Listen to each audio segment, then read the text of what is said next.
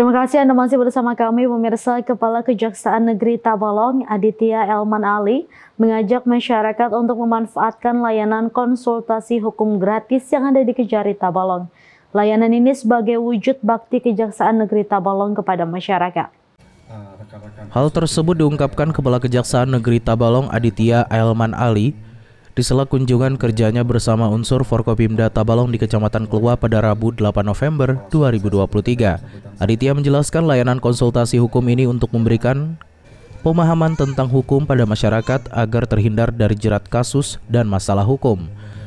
Menurutnya layanan ini juga sejalan dengan upaya kejaksaan yang lebih menekankan upaya pencegahan pelanggaran hukum daripada penindakan.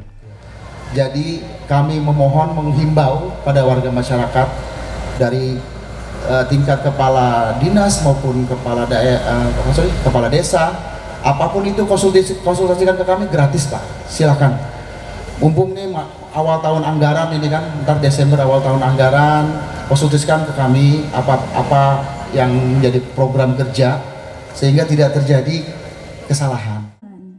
Aditya berharap dengan adanya layanan konsultasi hukum gratis ini menyasar yang menghadapi persoalan hukum dapat terbantu dan mampu menekan angka pelanggaran hukum di Tabalong. Muhammad Aryadi, TV Tabalong melaporkan. Terima kasih sudah menonton video ini. Jangan lupa subscribe channel Tabalong hari ini dan nyalakan pemberitahuan untuk update info terbaru. Jangan lupa juga untuk like, komen, dan share videonya.